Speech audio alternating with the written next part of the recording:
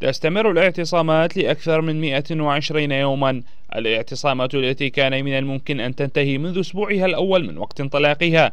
لو استجيبت مطالب المتظاهرين التي لم تلقى آذان صاغية. المتظاهرون من جانبهم أكدوا على أن الحراك الشعبي هذا سينتهي حينما تكون هنالك حكومة منبثقة من إرادة الشعب الحقيقية لا غير.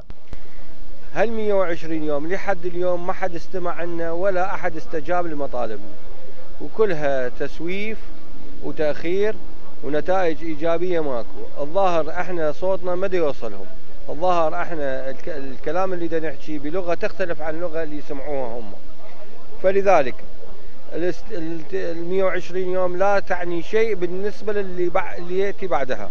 لأن إحنا مستمرين إلى أن يسمعونا وإلى يحققون مطالبنا الأساسية في أنه الشعب هو اللي يحكم الدولة. إن سوء الإدارة وعدم الولوج إلى تفكيك الأزمات والاكتفاء فقط بمشاهدتها تنمو وتتعاظم داخل أروقة المؤسسات الحكومية.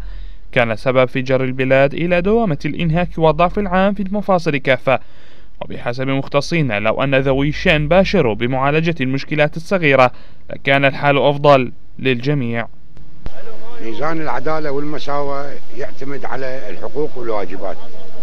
الحقوق والواجبات فقدها المسؤول قبل المواطن.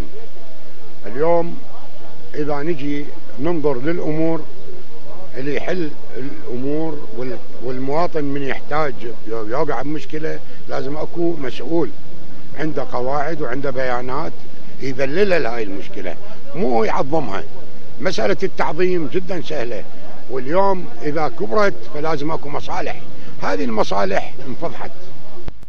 الضغوط النفسية التي يمر بها الشاب العراقي الذي يواجه مستقبلا مجهولا من جهة ولا مبالاة من السلطات السياسية الحاكمة لمصيره من جهة أخرى ولد نوعا من القوة التي دفعته لتفعيل حراك شعبي استمر طيلة هذه المدة وما زال مستمرا.